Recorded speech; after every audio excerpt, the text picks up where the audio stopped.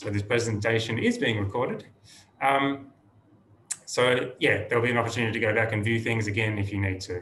Um, so without any further ado, I'd like to welcome our first speaker, um, which will be Matthew Baldock. Um, take it away, Matt.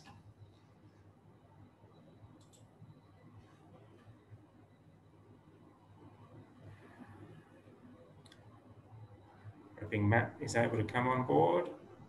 Okay, yeah, thank you, Jamie. Um, uh, I can't start my video for some reason, but uh, anyway, um, welcome everybody. Uh, thank you for making time to uh, come to the uh, presentations today by the staff from uh, CASR. Um, as Jamie said, Jeremy is unable, unable to make it today, so I'll be filling in for him today. Uh, I'm not able to be in the office today because I have a cold, and I thought 2021 is not the year to be giving other people uh, my cold.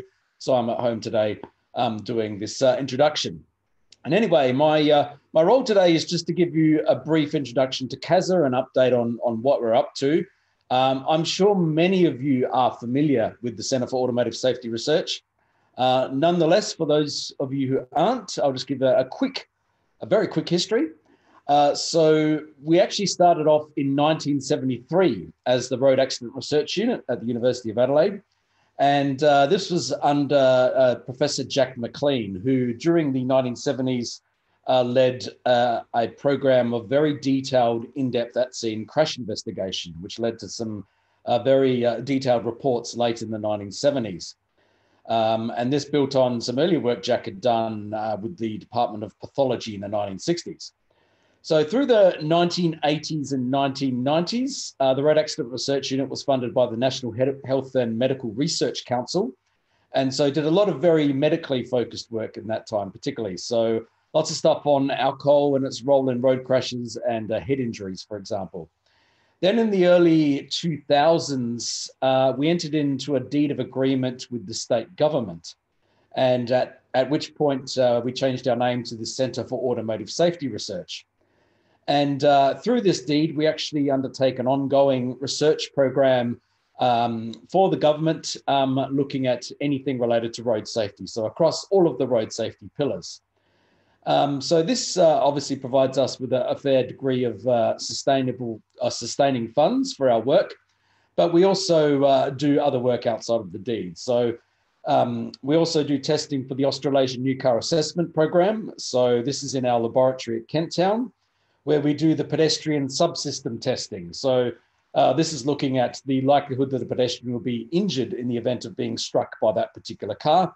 And that feeds into the star rating for the vehicle. We also do a lot of uh, contract research for other groups. So uh, in the past uh, couple of years, we've done work for the Transport Accident Commission, the Australasian Centre for Rail Innovation, the Australian Automobile Association, uh, Defence, and the state governments in Victoria, Tasmania, Queensland, New South Wales, Western Australia, and the ACT.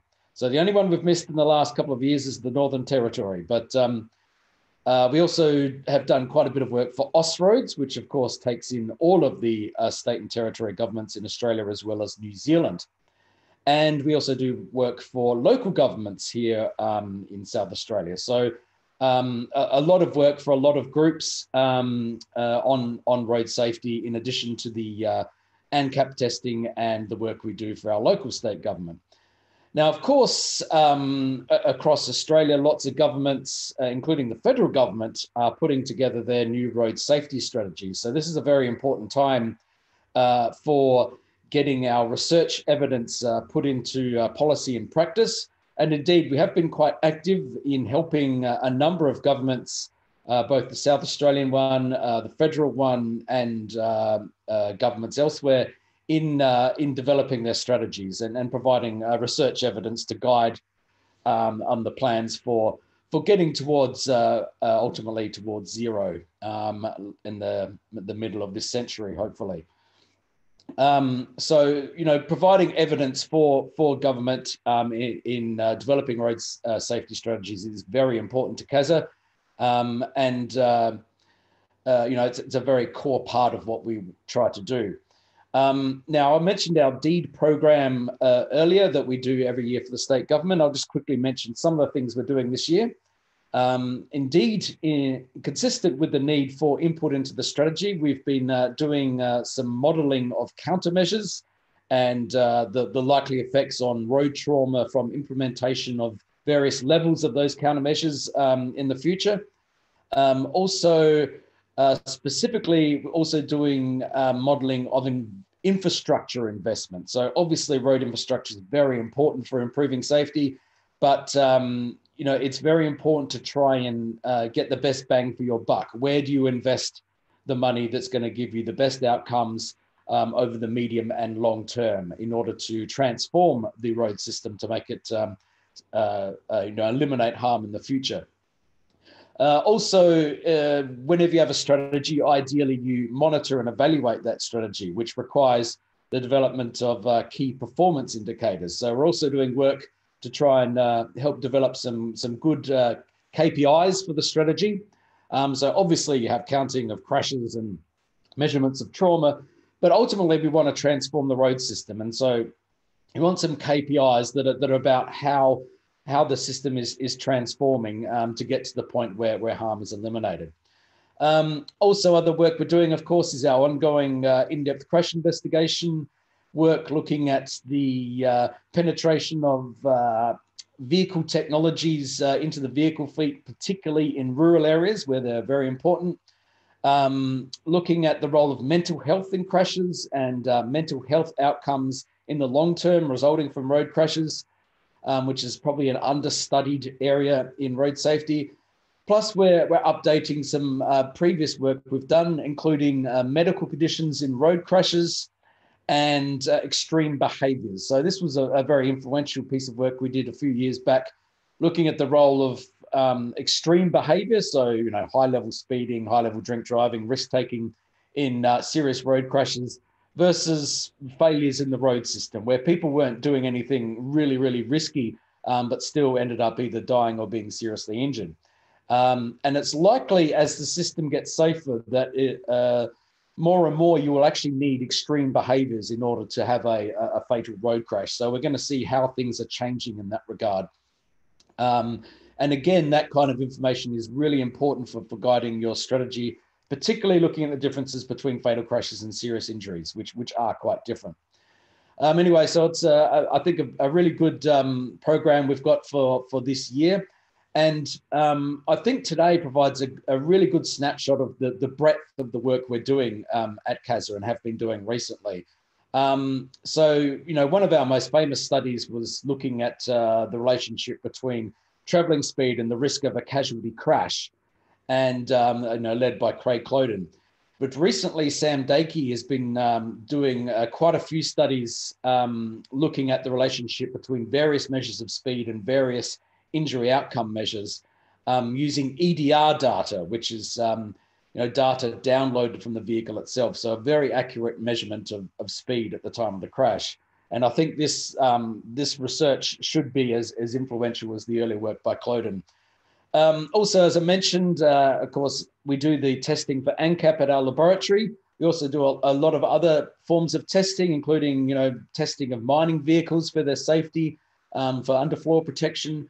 Um, and today, Jamie Mackenzie is going to be talking about um, some testing of uh, vehicle brakes that they've recently done. Also, as well as doing research, it's very important to us at CASR that we um, transfer the knowledge that we develop through this research uh, and undertake training where possible of future road safety professionals. Um, and as part of this, uh, Christopher Stokes has led the development of a, a course in the SAFE system. And, um, you know, I, I, what I've seen of this course, it looks excellent. And I think um, a lot of you will find this very interesting. So Chris will be talking about that. Uh, also, you know, as researchers, it's very important that we keep on top of, you know, developing and emerging issues and, and, and what's the, the current state of play in, in road safety. And of course, um, a good example of a, a, new issue we hadn't faced before was COVID. Uh, so uh, Martin Elsegood today will be providing some uh, preliminary analysis of uh, the effects of COVID on, on traffic in South Australia. And finally, uh, it's very important to always be monitoring uh, progress in road safety and, and looking at you know road crashes that are occurring and, and where the gaps are in the system that we still need to plug.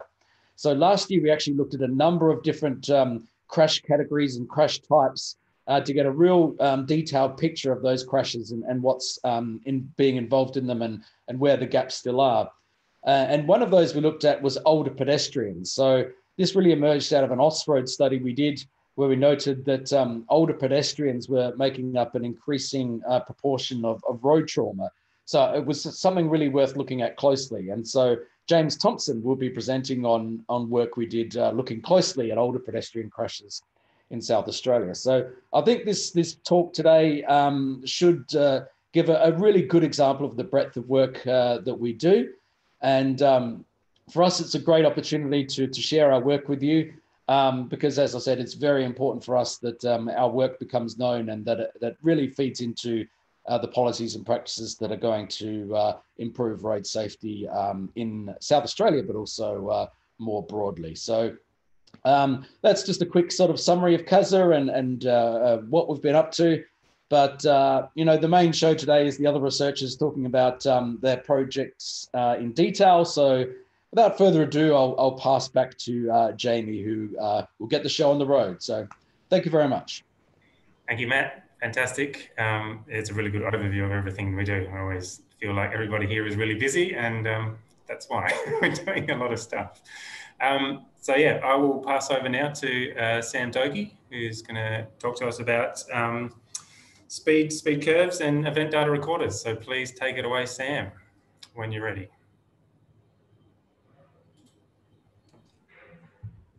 Hello, everyone. So yes, uh, I've been at CASR. Many of you might know me. I've been around for about 14 years uh, by now, which is a bit scary. Um, and yeah, my, my, main areas of expertise are um, vehicle technologies, um, and lately I've been working a lot on speed. Um, I've also been um, involved in our at scene crash investigations here uh, since I started. So yeah, just a little bit about event data recorders uh, first.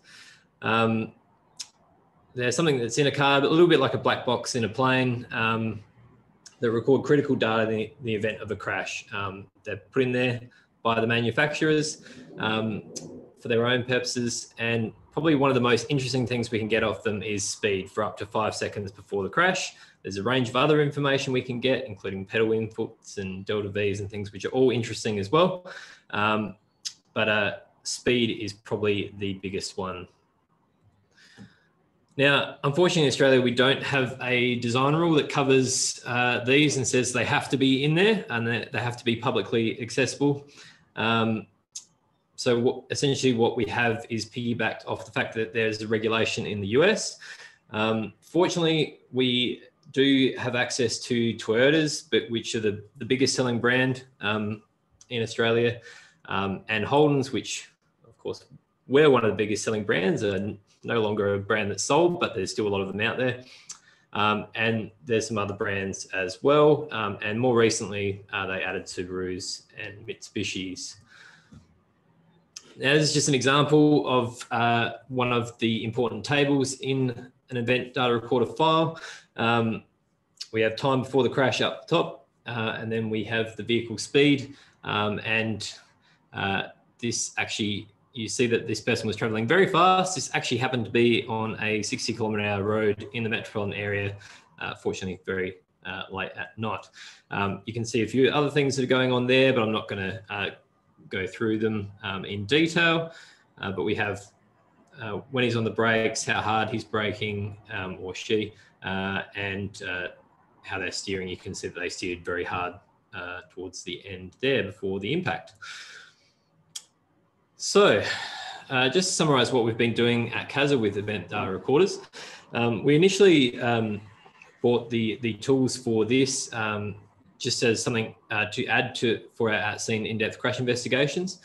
Um, we conducted a few test downloads um, and then we downloaded from uh, every vehicle involved in one of those crashes we investigated uh, that we could access, uh, but this uh, didn't yield high numbers, only 12 uh, over a three year period, but we really saw how valuable this information was. Um, and so we wanted to get more of it.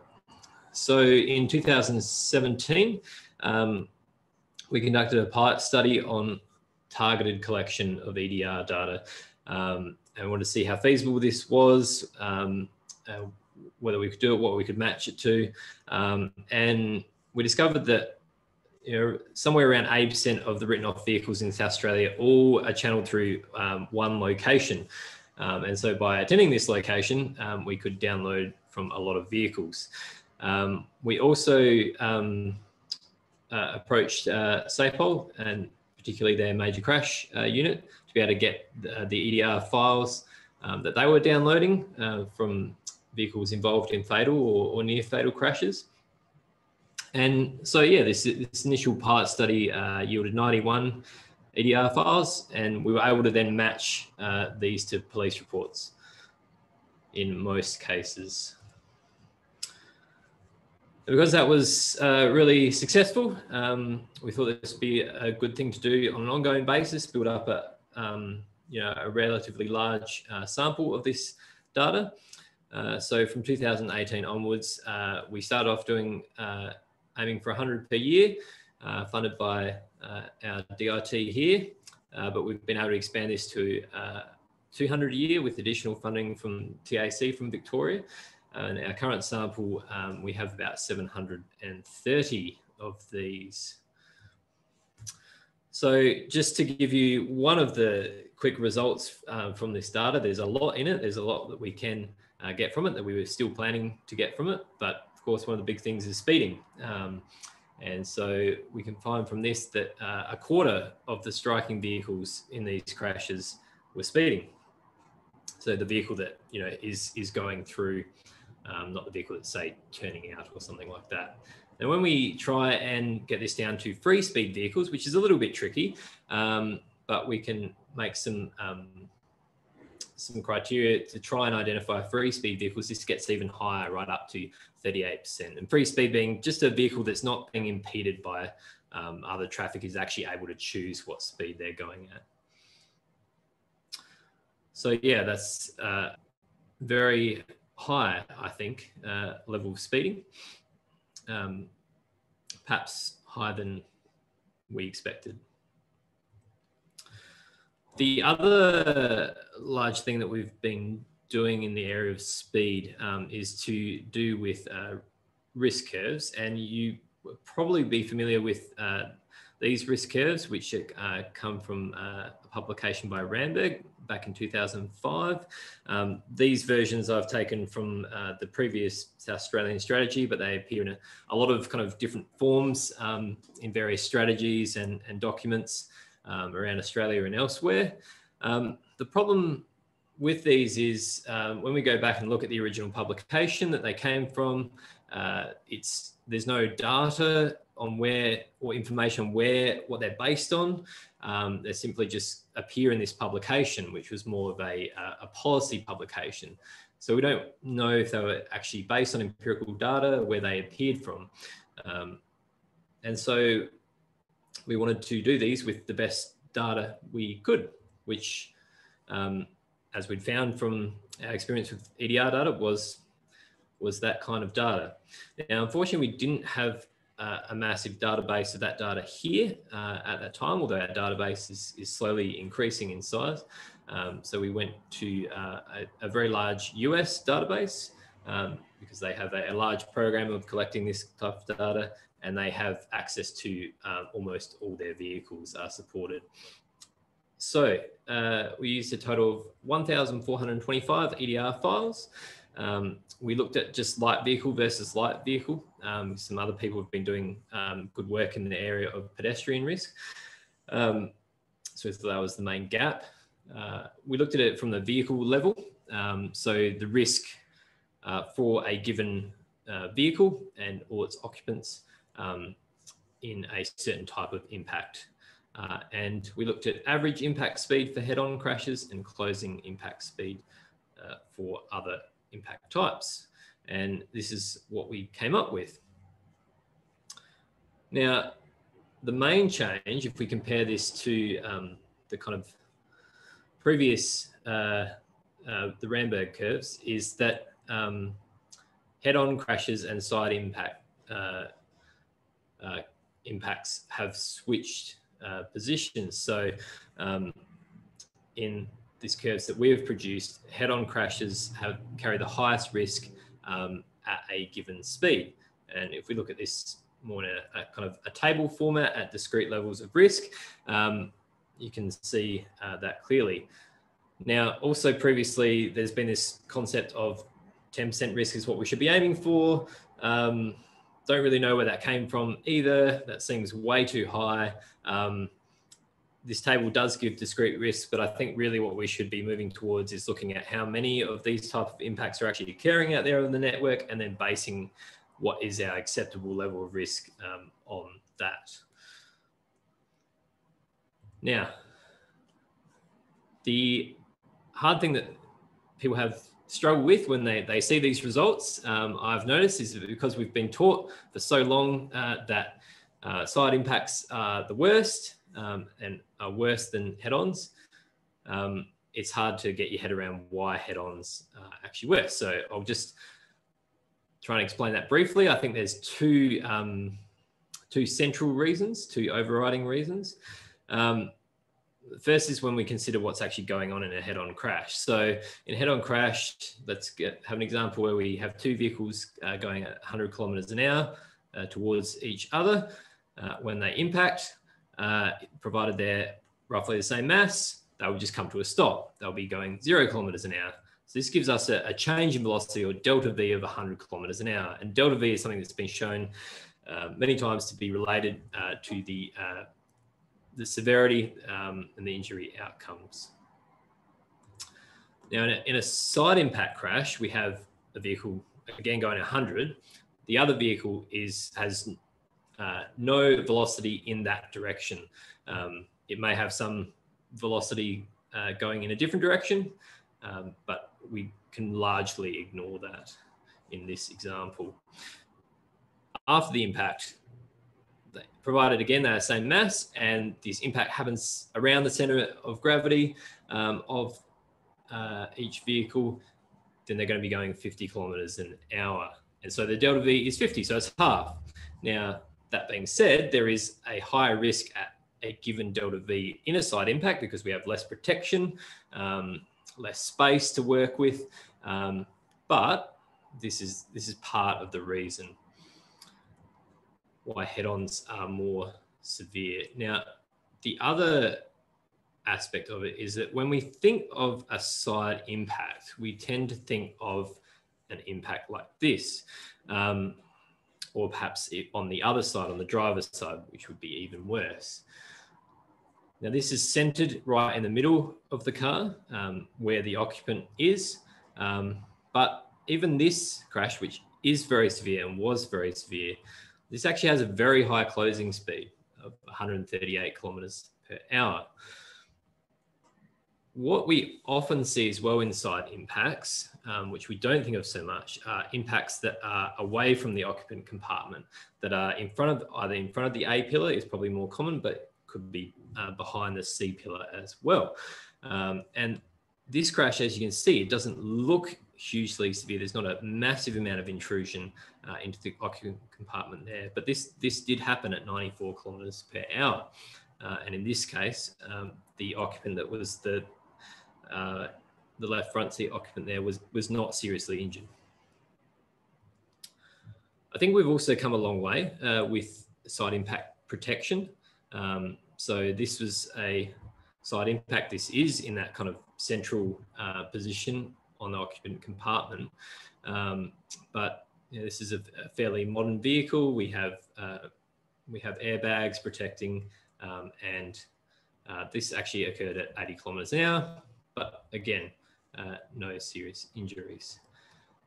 We contrast that to head-on crashes. A head-on crash, even if it is towards the side, or as it is offset, in fact, it is severe. And in some cases, that can even be more severe um, if it is uh, offset. So this is a fairly low offset um, head-on crash. Um, as you can see, it's done quite a lot of damage to the vehicle. There is very little space there where the driver's legs were, um, resulted in very serious uh, leg injuries uh, to the driver but this occurred at an average impact speed of only 47 kilometers uh, an hour.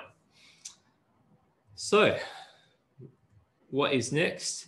Uh, we want to do the same risk curves, but looking at travel speed rather than just uh, impact speed, and that is for getting uh, very close to being done. Uh, we also want to look at how these different uh, speed variables relate to each other. So how travel speed relates to impact speed. So how much speed do you lose before impact, and then that, how that translates uh, to delta V, such as in that example I gave, but using empirical data. and this year's well, we are conducting a detailed analysis of speeds in the CASR EDR database that we've been building up. We're going to have a deep dive um, into all things uh, to do with speeds and speeding in that data. So thank you very much and um, happy to take questions. Sorry, I went a little bit long. Thanks, Sam. Fantastic. Um, as Matt said um, earlier, I think this is really um, important for the future of road safety. Um, so we do have a couple of questions. Keep sending them in if you've got questions. Um, so John has asked, uh, how do you determine the causing vehicle from the non-causing vehicle? I assume in the EDR data he's talking about. Right. Um, so with the with our EDR database, uh, we match it to the police report. Um, so we have uh, essentially what what happened um, in the crash. And if we're thinking in terms of, of striking um, vehicle, we can also um, uh, see that from a combination of the police report um, and the, the damage uh, to the vehicle. Okay. Uh, John also has another question. So he's saying you've, you've talked about 100 kilometre per hour speeds in crashes, yet impact speeds are on average much lower than travel speeds. He asks, how do you allow for that for example, EDR readings? Sure. So uh, in in the EDR data, we can see both the travel and impact speed, provided um, that they haven't been braking uh, for a long time. So on in the odd occasion, someone will be braking for um, a longer period of time than the EDR data, so we can't see exactly what travel speed they were going. But in most cases, people are, are uh, braking for two seconds or less um, prior to the, the impact. Um, and we can see both those things. Was that answered all the question? Was there another component to it? Sorry, Jamie. I think that was it. Yeah. Yeah. Okay. But uh, yes, uh, the, they do wipe off a certain amount of speed. Um, those uh, risk curves, we're looking at impact speed. Uh, we want to also look at, at travel speed, and that will take account of, of some of that difference. Yeah. Um, just a reminder that yeah, if anyone does have really in-depth questions, you obviously feel free to contact all the presenters. Um, so if you want to get in touch and ask a bit more of a, a thorough question and answer session. Um, we've got another one here from Michael. Um, you've answered his question about curtain airbags, um, but he's also got another question. For head-on crashes, do you expect the latest ANCAP crash test using a mobile barrier and the encouragement of head-on crash avoidance to help? Um, I'm not sure is probably the short um, answer. Um, yeah, I was, I was discussing um, that with the uh, yeah with someone from our impact lab the other day, and I, I think yeah I'm unclear at this stage. I think what's good about it is um, previously with the just a static um, barrier. Um, it meant, um, I suppose, small small vehicles got a bit of an advantage um, in in certain ways um, because not there's not as much energy in the impact. Having a a movable uh, barrier uh, of a certain mass, yeah, takes that away and makes it more realistic. And so hopefully that means increased um, frontal protection in smaller vehicles. Okay, uh, got another one from Adam. Says this is going to change the thinking of crash severity based on crash type when undertaking road safety auditing. Um, I think that's its question. Is this going to um, change the thinking of crash severity based on crash type when undertaking road safety auditing? I'm not familiar with uh, road safety audits and exactly how they're conducted and done. That's not my particular area. Um, Chris uh, Stokes or, or Jeremy would know a lot more about that, but I, I imagine quite possibly yes. Um, I think um, one of my thoughts based on this is that really head-on crashes just they have to be prevented. Um, really, it's difficult to get down to a speed where they are um, you would consider them really safe. The fortunate thing is that head-on crashes are actually not that common um, because everything has to align. Um, so an error has to be made and another car has to be there just at that moment. Um, of course, that makes them difficult to prevent because they kind of happen randomly across the network to a certain degree. Um, you know, uh, unlike an intersection where it's a specific point, um, a, a head-on crash could occur over a stretch of the road, um, and that's that's part of the challenge. But yes, I imagine it will. Um, well, I hope it will, you know, be taken into account in these things.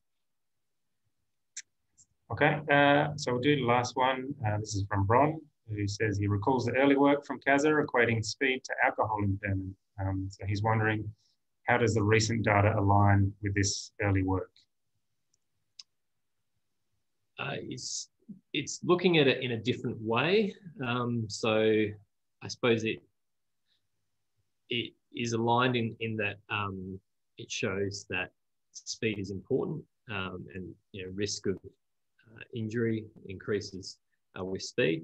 Um, but uh, that work was looking at, at relative um, risk um, from a, a, base level, whereas this is looking at, at absolute risk um, which is just a bit of a different um, way of doing it. So they're not exactly the same. And then the alcohol stuff was relative risk as well, so it could be directly uh, equated um, with that. Okay, well, thank you very much, Sam. Um, in the interest of fitting everyone in today, I think we'll move on to the next speaker. But, um, that has been really interesting. Cheers. Um, the next speaker is me. So just bear with me while I figure out all my controls here, hosting and presenting at the same time. Um, okay. So uh, what I wanted to talk about today um, is brake testing. Um, so uh, I will preface all this by saying that um, I am no expert on, on brake testing, um, but what I have done is uh, done a study with a few of my colleagues um, looking at brake testing. So uh, we explored um, um, the ability of various brake testing methods to detect brake faults. Um, I'm not going to go into that today, just because I don't have time to do it justice. But that's given me a bit of experience. If you're interested in that in that study, you're, you're it's freely available. And you're more than welcome to go and look that up. So if you just search for uh, CASR 173, um, you'll you should come across it. Be able to download that and have a look. Um, but while conducting that study um, as a person who, who isn't an expert on brakes, but as someone who drives a car and, and is working in road safety, I discovered a, a lot that I found to be really interesting. Um, and I thought that would be worth sharing. So today I'll be explaining how we conducted the study um, and discussing some of the topics that I found interesting. Okay, so first we needed um, an accurate and repeatable way to emulate symptoms of, of various brake faults. Um, so we achieved this by having a set of brake line cutoff and proportioning valves professionally fitted to a test vehicle. You can see those in the pictures there. Um, so in effect, the brake line going to each wheel of the vehicle was then able to be manipulated um, using these, these valves. So for example, we could reduce the brake line pressure to the front right wheel by 20% or completely cut off the brakes at the rear left wheel. Um, we also had pressure sensors installed so that we could monitor and log the brake lines uh, and ensure repeatability during the testing. You can see a little bit of a diagram there, but hopefully you get the idea is that we can turn the, the, the, the brake pressures at various wheels up and down um, to meet our needs. The next requirement was to be able to apply a repeatable brake press over all test conditions during the study. So for this, we used a brake pedal robot that was developed at CASR. Um, you can see that in the pictures there, um, the left and middle picture.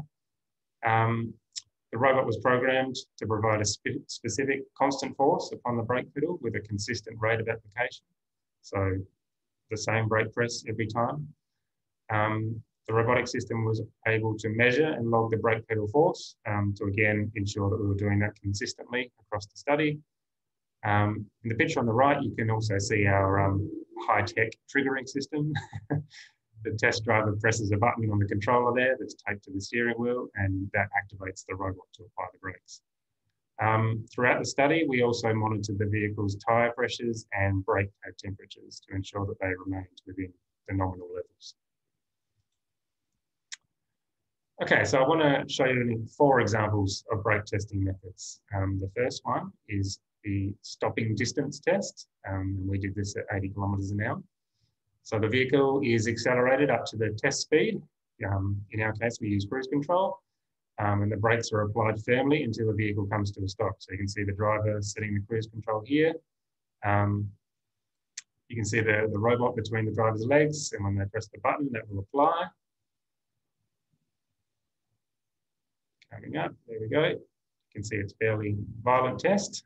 Um, after doing that test, we can measure the distance between when braking was started and when the vehicle stopped.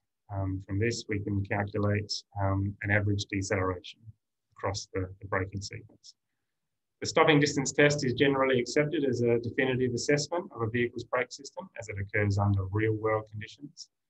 However, it does require an area where high speeds can be achieved safely um, and it does require accurate direct position view.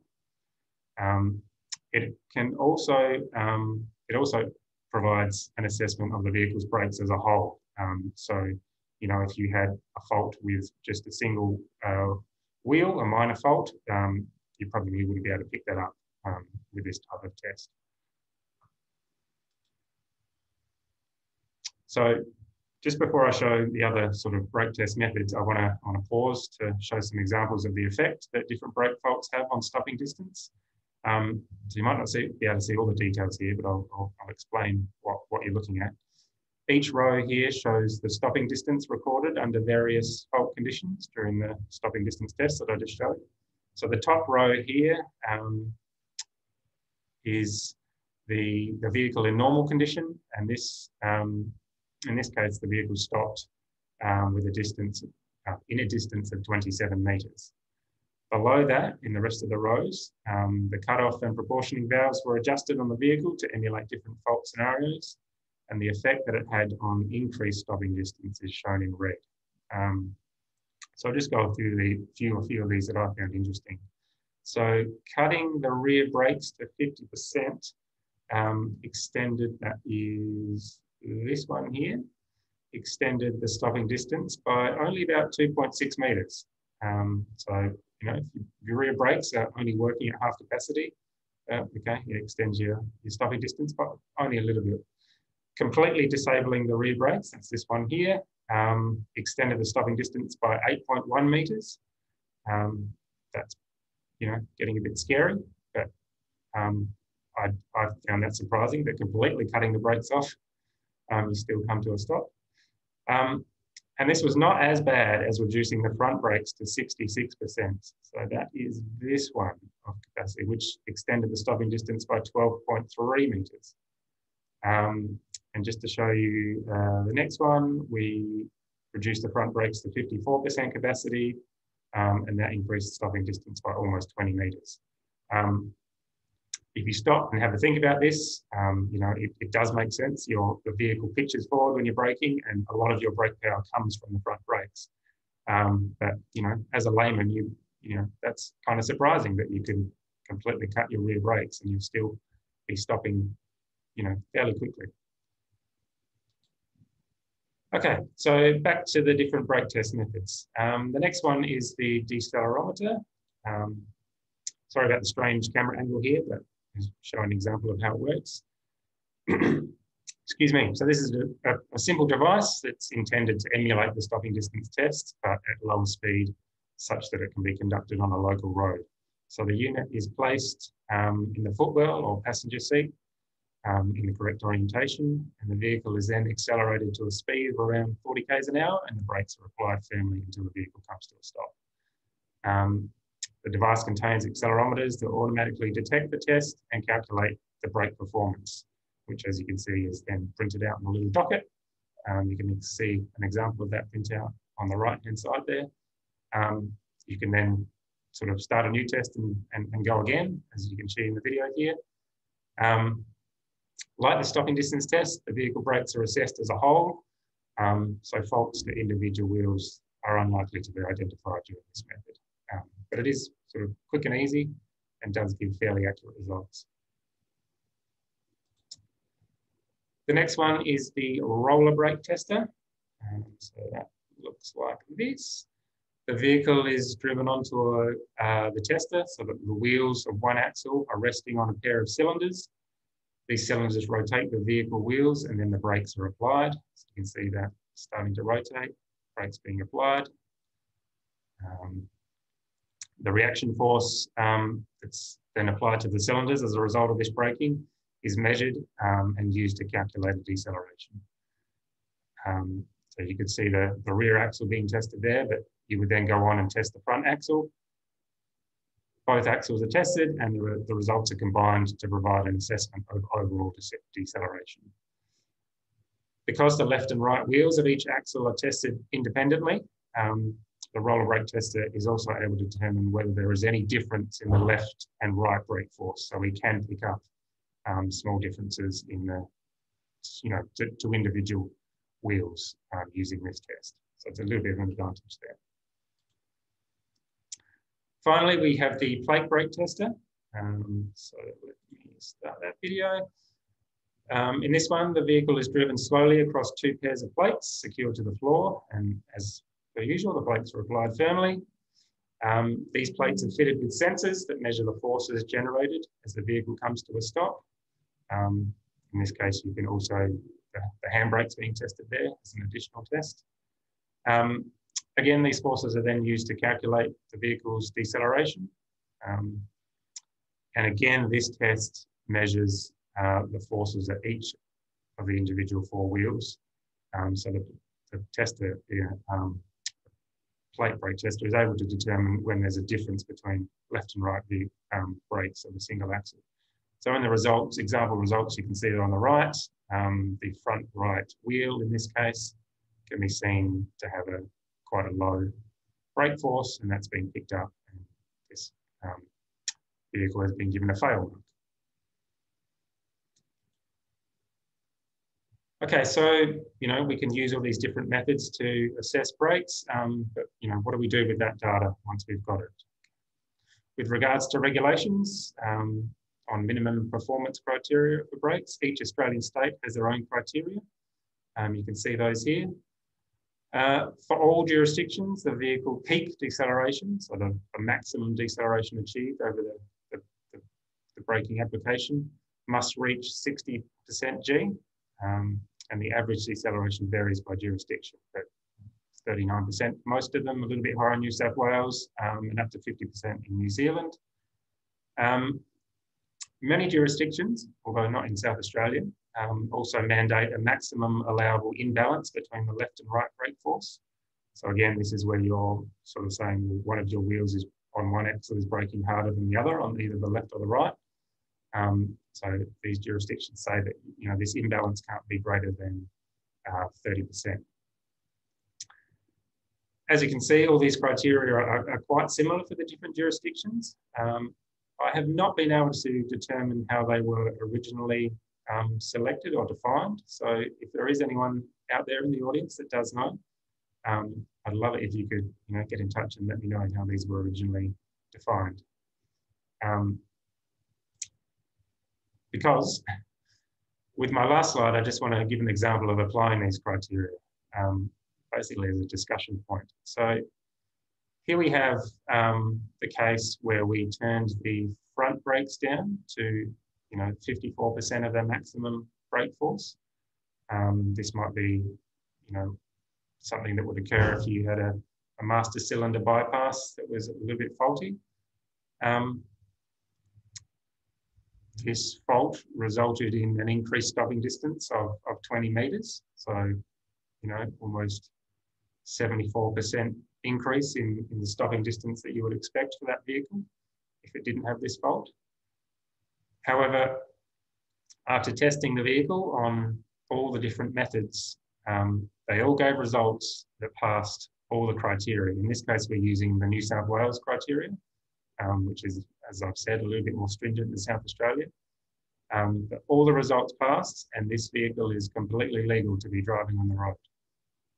Um, some of them only very closely just passed, but nonetheless, it was a pass for the criteria.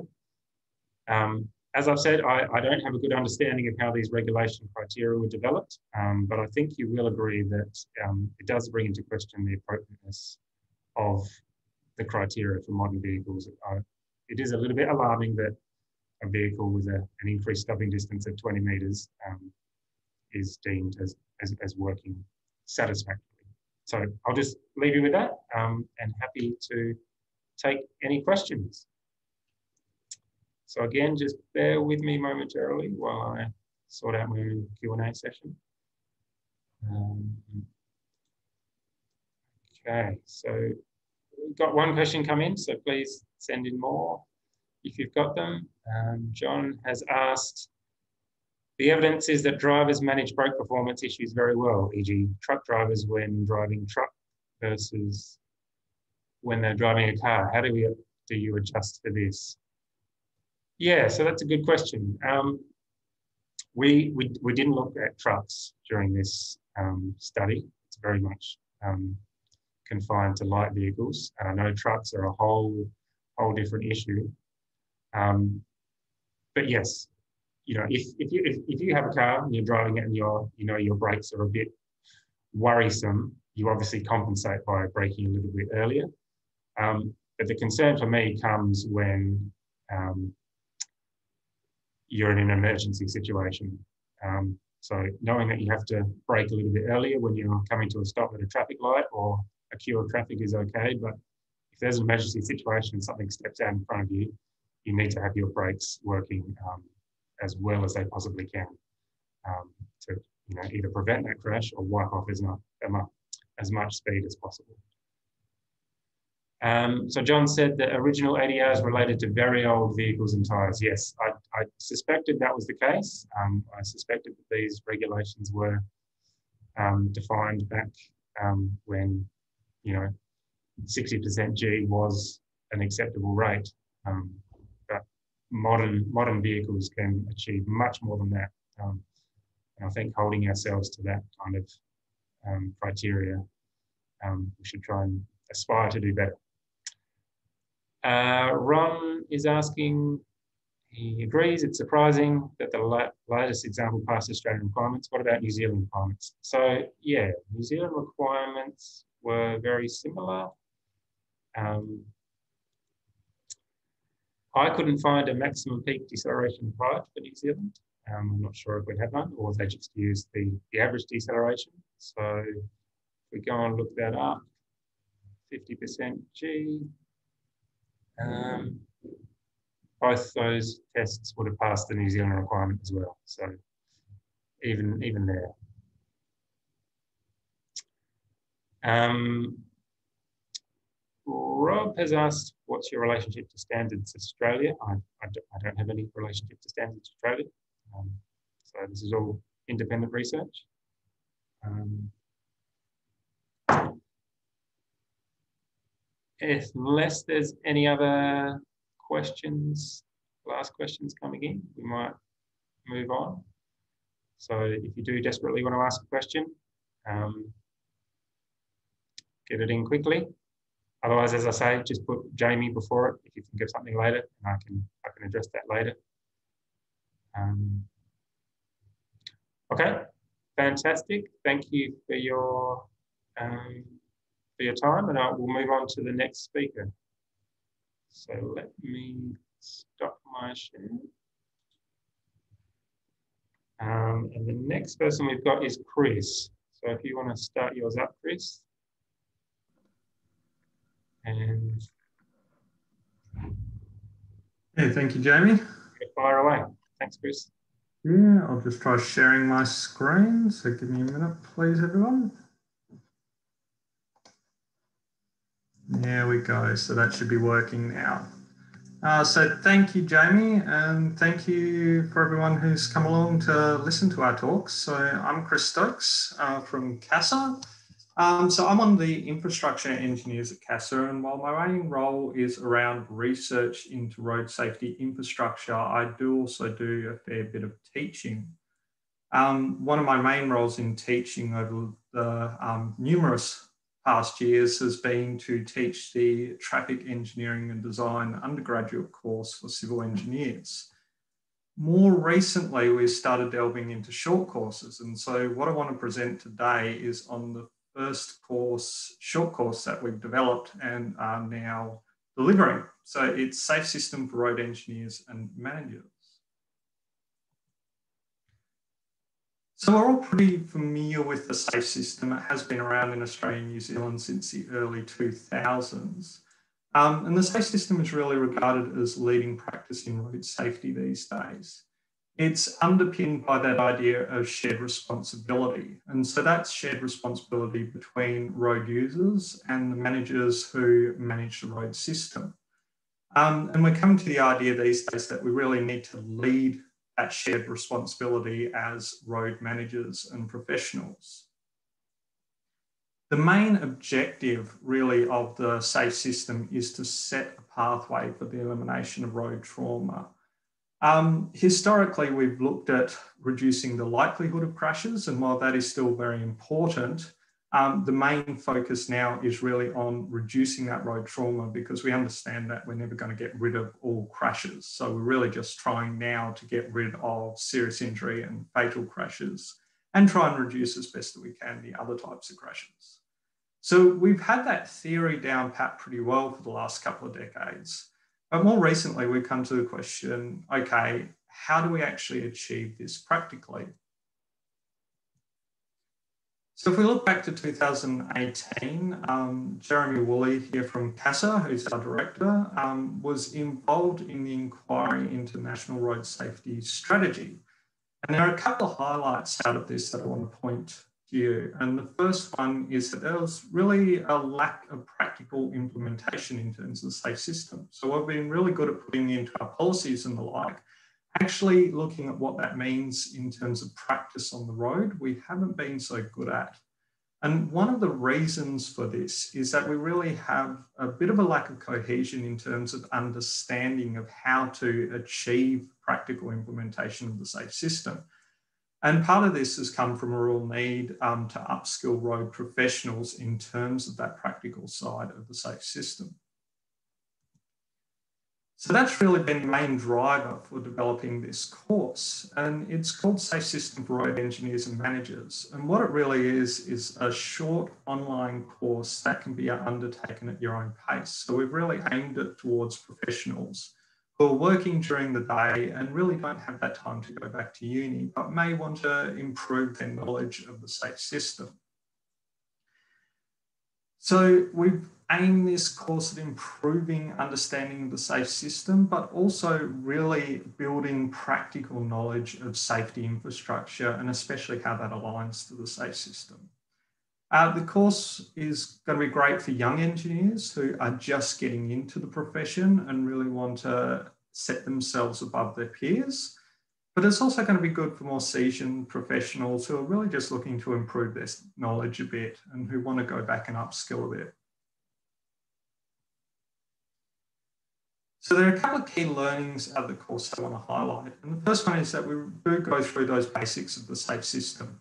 And we really go back to the core principles of the SAFE system, a bit of the theory around it. Um, but then pretty quickly we jump into the, um, into the main mix of it, which is looking at road safety infrastructure and those key road crash types. And so we're really looking at what are the me uh, mechanisms for those key road crash types?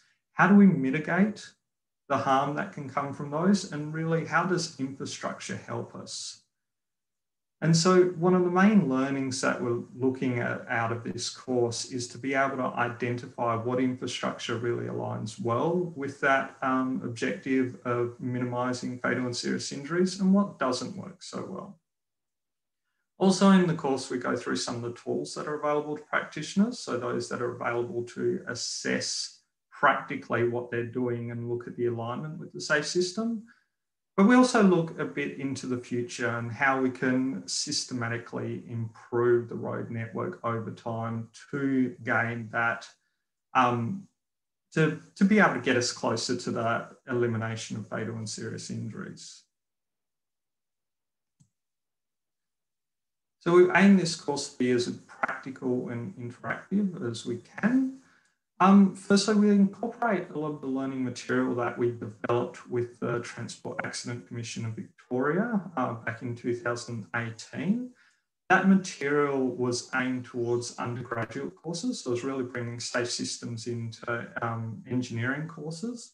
But we've been able to synthesize that into this short course. And so we um, use that material to really drive home a lot of that practical implementation um, theory and how we get it out there in practice.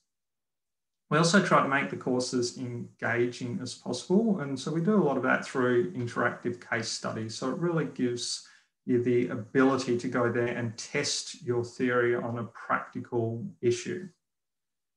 And of course, any course needs some sort of assessment. And so the other way that you can test your theory is through the assessment quizzes at the end of each section of the course.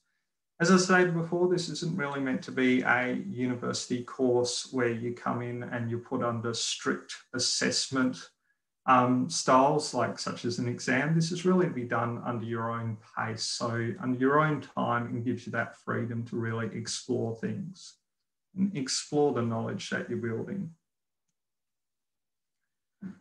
So this is just a quick introduction to the course. Um, as I've said, it's really something that can be done at your own pace. It takes approximately seven to eight hours to complete. At the end of it, you can obtain a University Adelaide certificate of completion.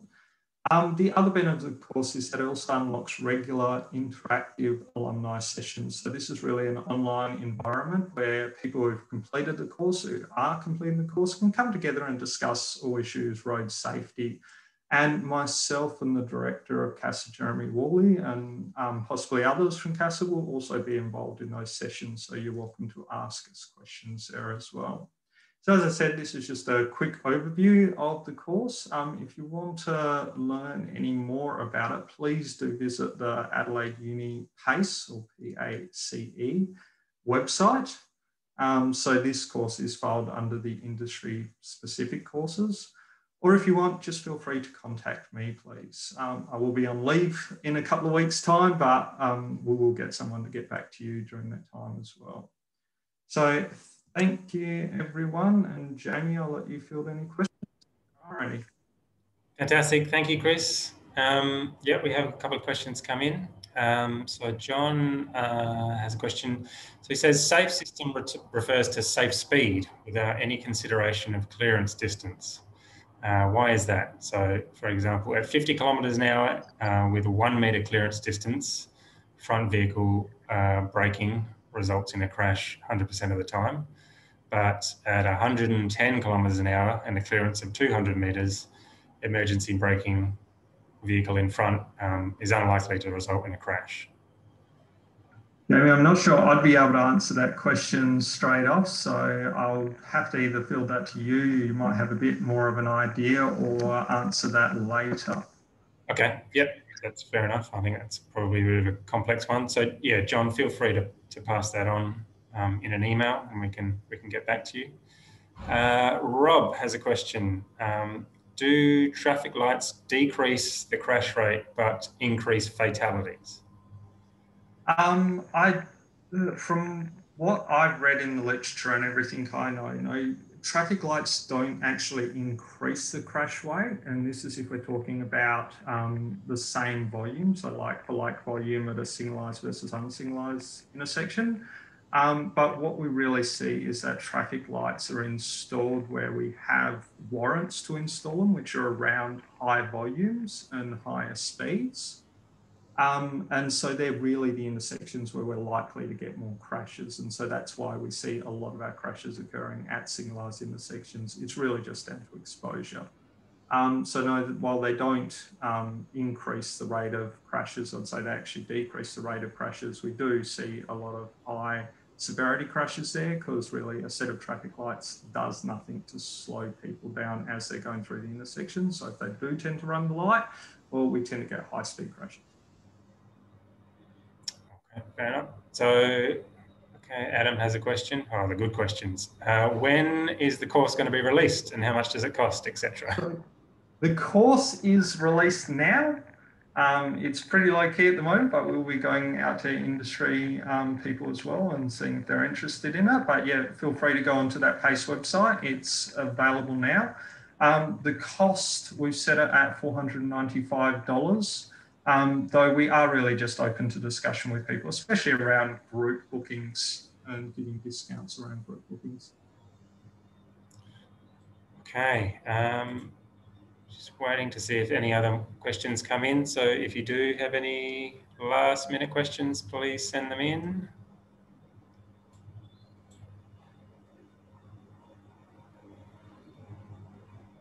All right, nothing coming through, but as, as I've said, if you do have a question for Chris, um, just chuck it in um, and we can get him to answer that later. Okay, thank you very much, Chris. Uh, we'll move on to the next person. Um, which is going to be Martin. So when you're ready, Martin, fire up presentation and take it away.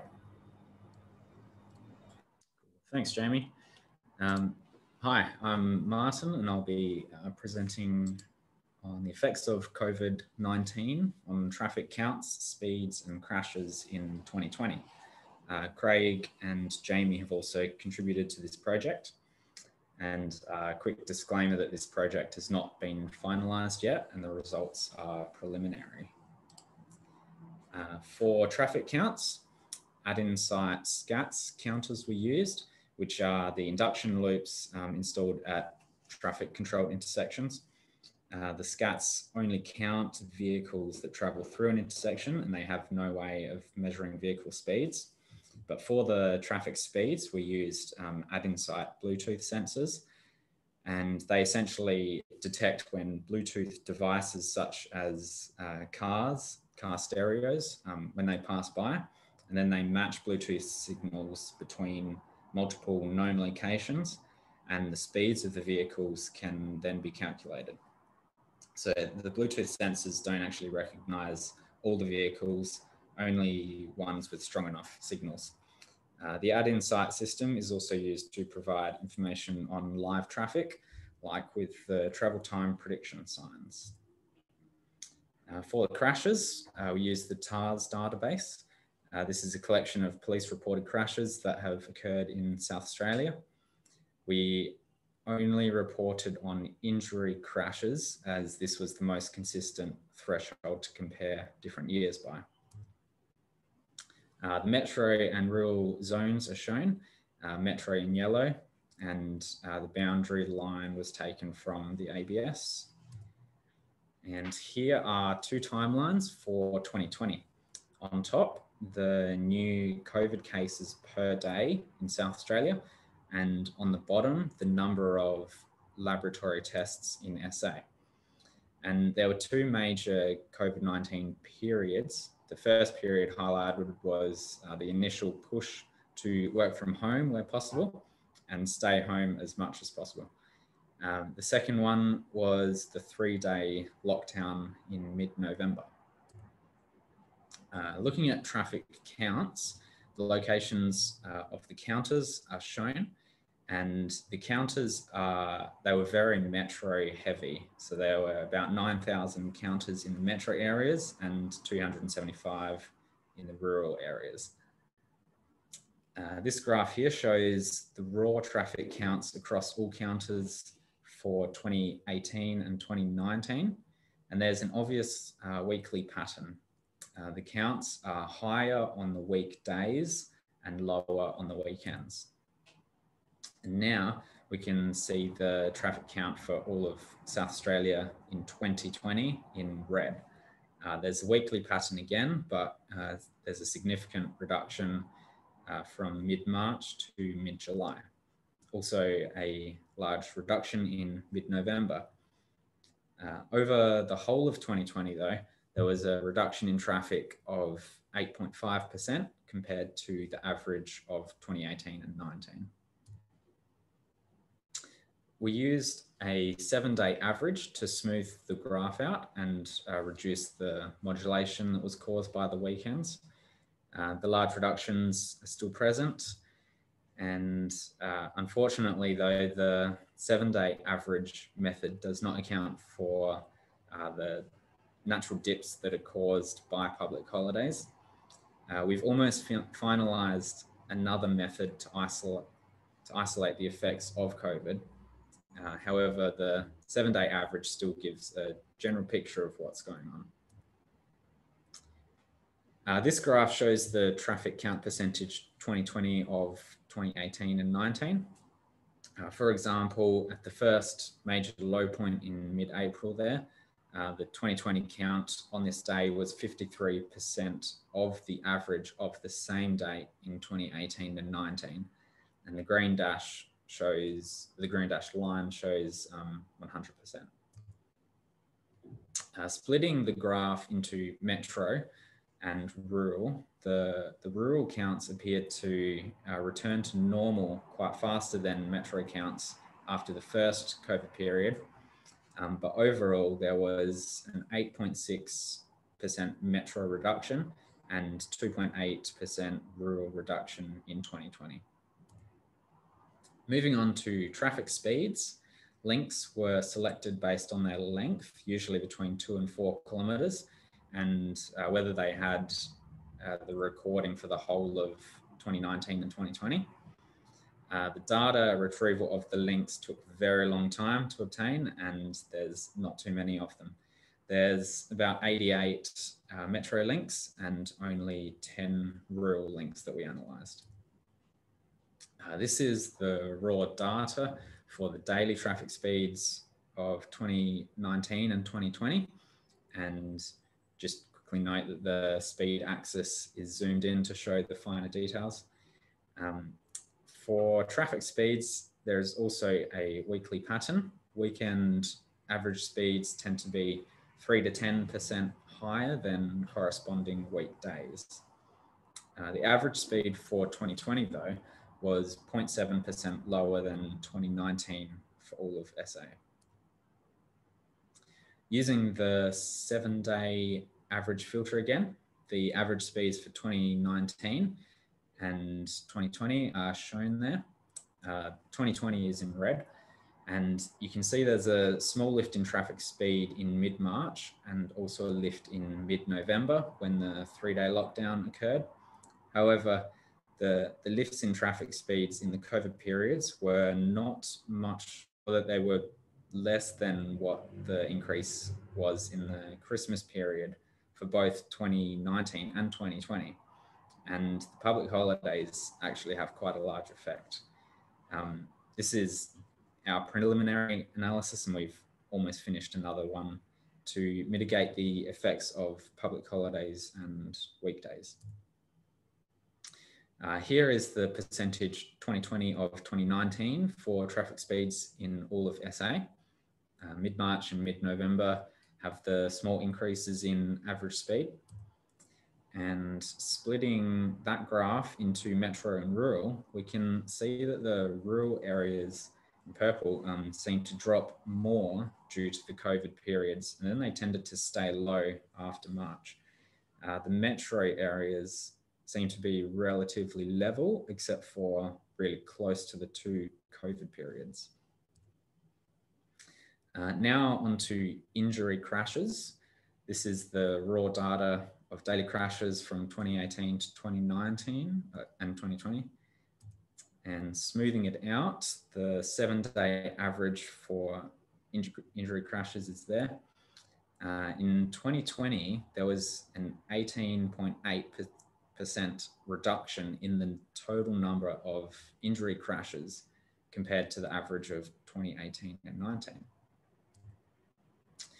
Uh, looking at the percentage 2020 of 2018 and 19, the general trend was that crashes were lower in 2020 and splitting the previous graph into metro crashes and rural crashes, we can see that there are reductions in both metro and rural and metro had a slightly larger reduction. And here are the summarized results from the graphs and the report to come will look more in depth into the specific COVID periods. So look forward to that. I'll leave this here while I hand back to Jamie. Fantastic. Okay, thanks, Martin. Yeah, it's obviously uh, COVID's given us an opportunity to have a, a real live social experiment for what happens when um, traffic goes down. Um, you've given us a whole bunch of results. I think you might have stunned people because we don't have any questions so far. Um, so we'll wait a, a, maybe a minute or so to see if anyone's going to send anything in. Is there anything else you want to mention while we wait? Anything that surprised you? Yeah, I think the injury crashes went down quite a lot for not as much uh, percent, percent reduction for the counts. And I was quite surprised that the speeds didn't actually increase a lot when the counts were reduced significantly. Mm-hmm, mm-hmm. Okay. Um, Julio asks, can you tell whether the average speed increases were due to less traffic or more extreme speeds?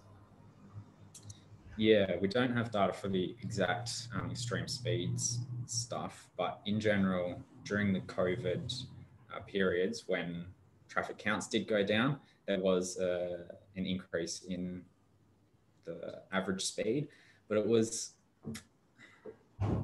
it was probably all less than about five percent increase for those periods um, when there was like a big reduction of say 30% drop in the number of counts. Okay.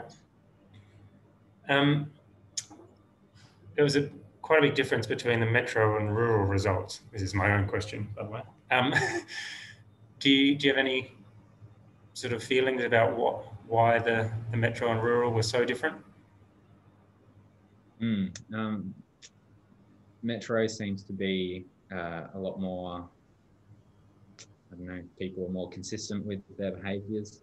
And uh, because of the travel restrictions, rural, the general um, people that traveled in rural areas might have changed, or border restrictions could have changed different things throughout the years. Mm-hmm. Um, yeah, heavy heavy fleet traffic may have changed their strategy for um, bringing things across the state. So. Yep, yep. Uh, so Matt asks, oh, it was interesting to see the average speed decreases in regional areas. Is there a possibility that this could be due to a high percentage of heavy vehicles on the road that would be limited to 100 kilometers per hour in 110 k zones? So I think he's suggesting what you've, what you're suggesting. Yeah, yeah, definitely. Um, just get that up. So that one there, you can see the big reduction in uh, traffic speeds for rural. So it could be the increase of heavy vehicle fleets. Yeah. Mm, so perhaps a, a, backlog or, yeah, okay. Um, all right, we'll maybe wait a few more seconds in case there's any other questions. Otherwise, we can move on.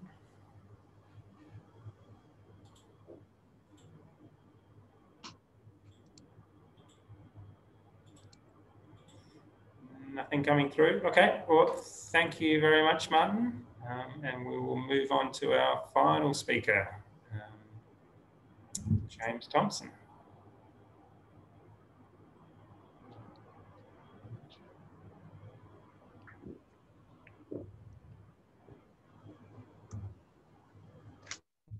All right. Um, everyone hear me okay? Yeah. Great. Uh, so I'm going to speak about older pedestrians um, and the crashes they are involved in in South Australia. Um, I am the last talker, so I will endeavour to keep it short, sharp and shiny, so you can all get on with the afternoons after this. Uh, the Deputy Director of uh, CASR, Matthew Baldock, who um, introduced this webinar, uh, worked on this research with me, so I just want to thank him for that. Uh, so firstly, just to provide you with some background into why we thought that research into older pedestrians would be important or um, interesting. Uh, so firstly, uh, walking is, been a, is a beneficial activity for personal health and well-being, obviously. Uh, and it's particularly beneficial um, for older adults. So um, because they're living longer than past generations and they're participating in more activities outside of the home. So it's it's a wonderful thing that they they increasing their walking and um, a, a large proportion of the population of older adults are walking and staying healthy and keeping active. However, it is a way of getting around that presents an increased risk for older adults. So previous studies have shown that older pedestrians have higher rates of deaths uh, compared to uh, younger pedestrians. And also um, older adults uh, have higher rates of deaths compared as pedestrians compared to all other modes of transportation. So um, for example, cars, buses, bicycles, that sort of thing.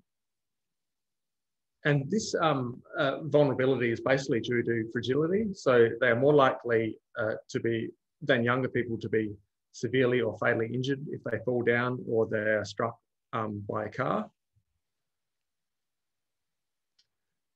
And um, they, they all may, may also have an increased risk of being involved in uh, pedestrian crashes in the first place, and that's due to declines in their health or cognitive and functional abilities. So a reasonable level of physical ability is crucial to negotiate the road uh, environment as a pedestrian. And deteriorating health or cognitive and functional abilities with age can make it substantially more difficult, uh, particularly when crossing the road without traffic signals and judging the speed and distance of an approaching vehicle.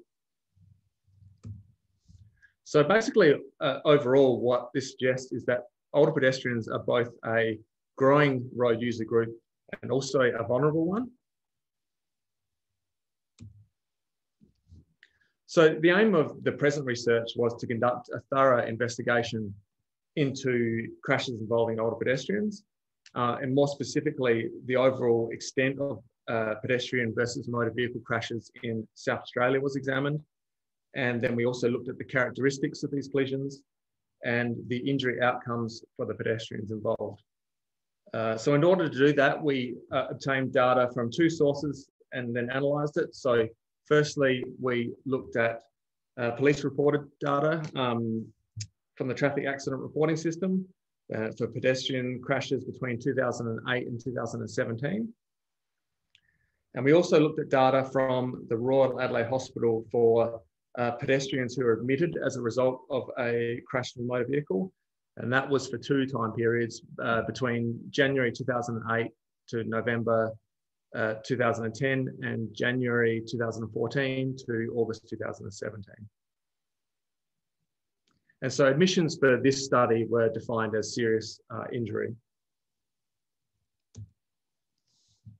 So just to um, talk about the results now what we found. Uh, firstly, in terms of the results from the police reported uh, data, um, the graph that you see here is uh, shows you the total number of pedestrians hit by motor vehicles in South Australia each year from 2008 to 2017 for three age groups separately. So we have a younger, um, well, a younger and middle age group, which is the zero to 64 age group. And we also have uh, two older age groups. So we have a 65 to 74 group and a 75 and older group. Uh, so basically what you can see in terms of total crashes is that um, the younger and middle-aged uh, pedestrians had far more crashes than the older age groups. uh, and, overall, over the 10 year period, you can see that the numbers have been decreasing for the 0 to 64 group, but have been fairly steady for the older groups. Uh, the next graph shows the rates of pedestrians hit by motor vehicles per 100,000 uh, population. And so what this does is um, controls for differences between the groups in terms of uh, the population in each group. Uh, so you can see that over the 10 years, the rates declined uh, for all three age groups. But this time what you can see is that the older age groups are much higher than the younger age groups. So what this shows is that they actually have a higher rate of crash involvement when you look at it um, standardized by population. Uh, the next graph shows the proportion of the pedestrians who were seriously or fatally injured. Uh, so of those pedestrians who were hit by a motor vehicle, what proportion were seriously or fatally injured is basically what this is showing. Uh, the two older groups were combined into a 65 and over group this time around uh, because the numbers for the groups separately were low for individual years. Uh, as you can see from the graph, um, with the two groups this time, there's considerable variation amongst the years. Uh, but overall, older pedestrians had a higher likelihood of being seriously or fatally injured in eight out of the 10 years that we looked at. And uh, despite the variance, uh, the trend over the 10 year period was steady for older pedestrians, uh, but showed some decline uh, in the likelihood of serious or fatal injury for younger pedestrians, uh, particularly between 2013 and 2017, which is uh, towards the end of the blue line there. Some of the other findings that we got from the police reported data is firstly that consumption of alcohol prior to a crash was low for older pedestrians, um, but a third of pedestrians aged 0 to 64 for whom BAC was known uh, had alcohol in their system. Older pedestrians are also less commonly responsible for their crashes uh, younger pedestrians and less commonly cause the crash due to alcohol and not paying attention. Uh, older pedestrians are more commonly walking on the footpath when they were hit, while younger pedestrians are more commonly walking on the road.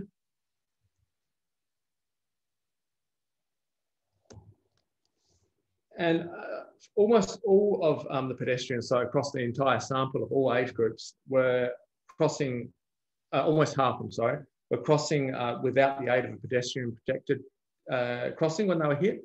Uh, so, and the most common error for made by this group of uh, pedestrians was inattention. So this is a big issue in terms of pedestrians in general. So basically, uh, this is people that are crossing the road without um, traffic signals or pedestrian protected crossings, so zebra crossings, things like that. Uh, and it's basically your traditional jaywalking group. Um, and so it shows that half of our sample were doing that. Some other findings were just that uh, crashes involving, involving older pedestrians were over, overrepresented on Fridays and during the day, so 6 a.m. to 6 p.m. And crashes involving younger pedestrians were overrepresented on Sundays and between the hours of 6 p.m. and 6 a.m., so during the night.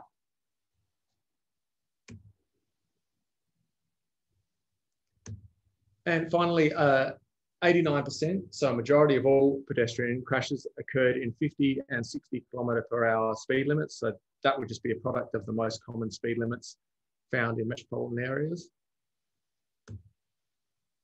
And now just uh, to give you the results of the analysis of the admission data from the RAH. Uh, and with this, we found many of the same results that we found with the police reported data. So older pedestrians were less likely than younger pedestrians to have alcohol in the system uh, when they were hit by a motor vehicle and seriously injured. They were also less likely to be found at fault for their crashes, and their crashes, crashes were less likely to occur at night.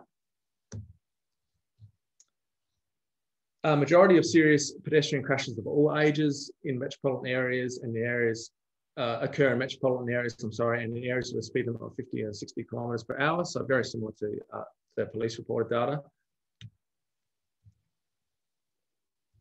But the interesting uh, thing about the RAH data is that it provides uh, very detailed information on injuries, uh, which is not what you get with the police reported data. And so what we found with these uh, data is that we looked at injury severity scale, and we found um, that seriously injured pedestrians did not differ from seriously injured younger pedestrians in the severity of their injuries, but were more likely to spend longer than 10 days in hospital, which suggests that they took longer to recover from their injuries.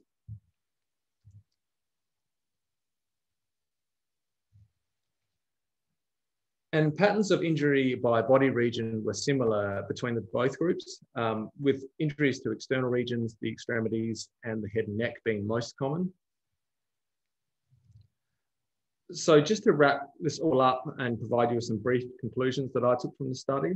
Um, firstly, older pedestrians do have an increased crash risk in the first place. So uh, when you look at that graph in terms of per population, it shows they have an elevated risk uh, above younger pedestrians.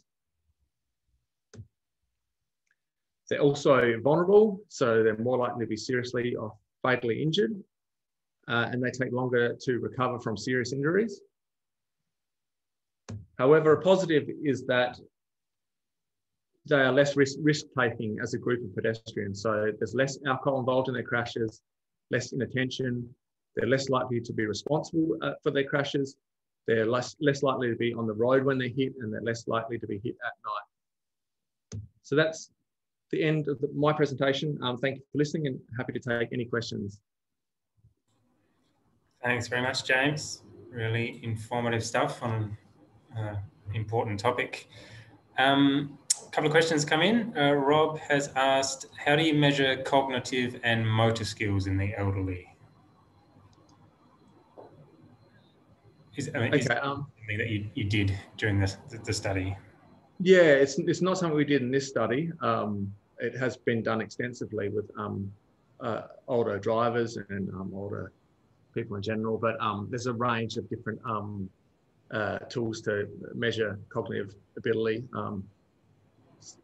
I don't have a list off the top of my head, but so they vary greatly in, in how uh, how useful they are and how valid and reliable they are. So yeah, there's lots of research on that. Have to have to look that up and see which ones work best. But yeah.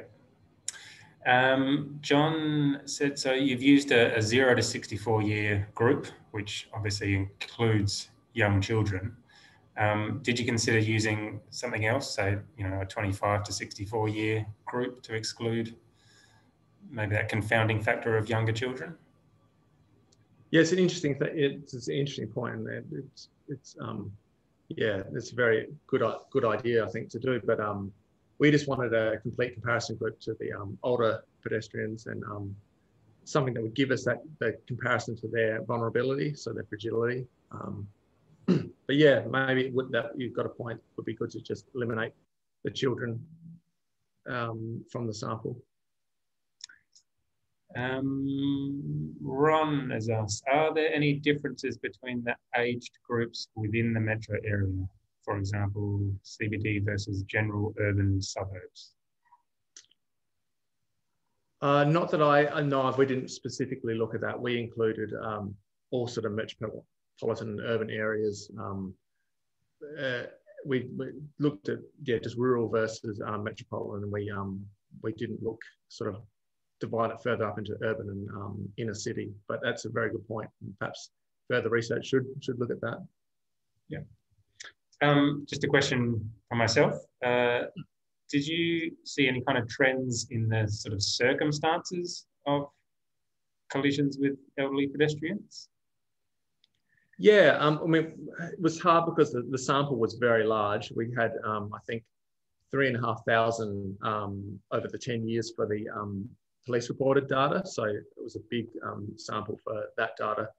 And for the RAH admissions data, it was about three and a half hundred um, uh, cases. So uh, it was quite large. And so I couldn't really go into depth into the, um, the narratives of the crashes too much. Um, but just anecdotally, um, yeah, some interesting things showed up. Uh, in particular, looking at when we found that they were more likely to be hit um, on the, the the footpath, that being older pedestrians, while young pedestrians were more likely to be hit when they were on the road.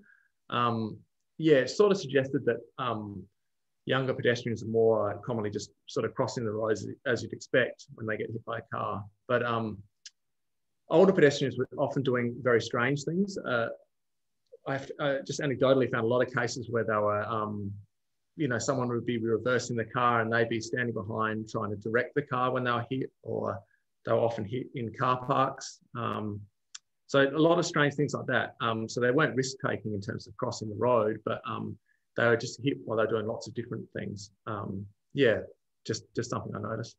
Yeah. So yeah, maybe the trend is there is no trend. Yeah, maybe.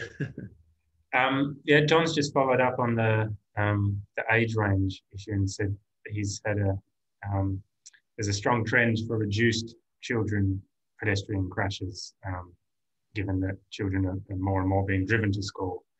Um, mm. so I think his, his point that maybe there's a, a confounding factor there that's reducing um, that other age group.